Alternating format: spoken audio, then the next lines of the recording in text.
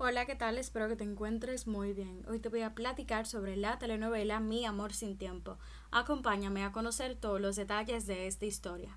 En la telenovela Mi amor sin tiempo, Ana y Jesusa están desesperadas buscando todas las pistas necesarias para desenmascarar a Greta para los siguientes capítulos. En la telenovela Mi amor sin tiempo vamos a estar notando cómo Greta tiene poco tiempo realmente para poder salirse con la suya. De no ser así, se verá involucrada en fuertes problemas donde por el momento se le está acusando de muchísimas cosas tanto Ana como Jesús se dieron la oportunidad de recopilar muchas informaciones realmente importantes que identifiquen a Greta como una de las culpables de tantas cosas que han pasado.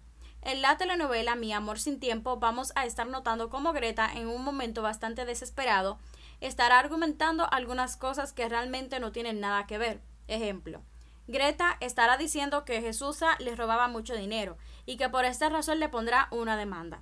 Asimismo dirá que la señora Ana fue la causante de la muerte de su gran hermano Gonzalo. Ana tratará de defenderse y dirá que todo esto es una mentira, que todo esto es una farsa de nada más y nada menos que Greta. Porque a Greta le conviene que todo el mundo odie a Ana y a Jesús para poder salirse con la suya.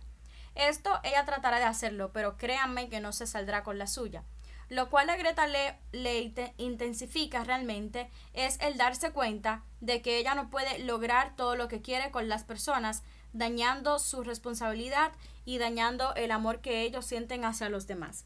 Jesús podría ser una de las tantas víctimas de la señora Greta, porque Greta en constantes ocasiones la ha amenazado y le viene diciendo que si le pasa algo sería culpa de nada más y nada menos que ella misma. Greta tiene que ser consciente de que Jesús ha sido una buena mujer, pero esto no le importa. A Jesús lo único que le importa es Pablo, Fátima y Bárbara. Pero por, por otro lado, Ana también apoya mucho a Jesús y le dice que cuente con su apoyo.